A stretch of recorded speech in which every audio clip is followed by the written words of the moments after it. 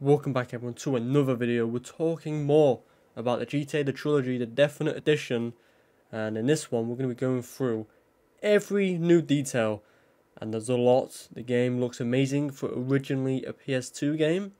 You look at the comparisons, you can definitely see a difference. If you don't, then I don't know what to say because there definitely is a difference between the two. Starting off with the character models from GTA 3, Vice City to San Andreas, they look a lot different, and um, in my opinion, look amazing. So let's go through the enhancements in the trilogy.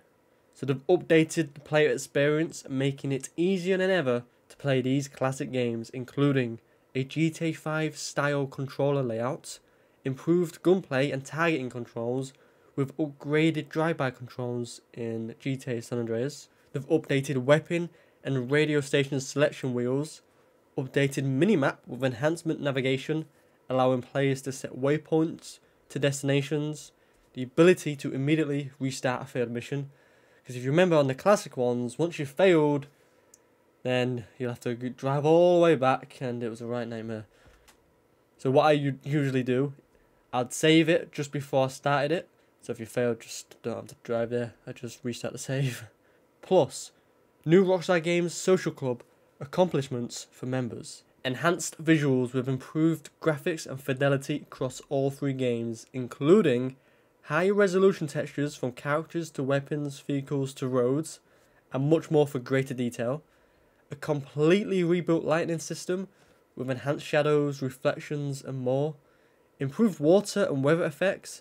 Enhanced detail in trees and foliage increased draw distances to provide a new level of depth and definition, plus platform specific features including 4K resolution support with up to 60 frames per second, performance for PlayStation 5 and Xbox Series X systems, Nvidia DLSS support for PC, touch screen camera zooming, pans and menu selections, as well as gyro aiming for the Nintendo Switch. So those were the enhancements. So it all started in Liberty City. So you can go anywhere, jack anyone. GTA 3 puts the centre of criminal underworld at your fingertips if you have enough guts to take it. And then Vice City is in the 80s.